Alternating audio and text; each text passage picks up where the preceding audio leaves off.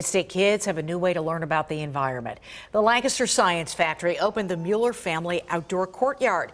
The outdoor space teaches kids about solar power along with recycling stormwater for backyard gardens. It kind of really gives an idea as to where the water comes from.